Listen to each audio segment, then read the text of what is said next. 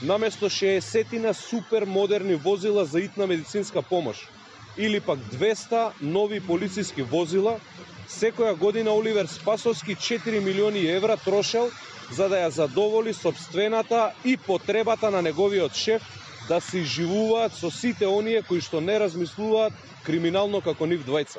Време е правдата да го стигне и лично Оливер Спасовски.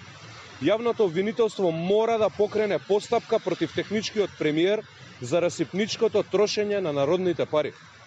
Парите кои се истрошени заради некоја лична или партиска одмазда мора да бидат вратени во буџетот на Република Македонија.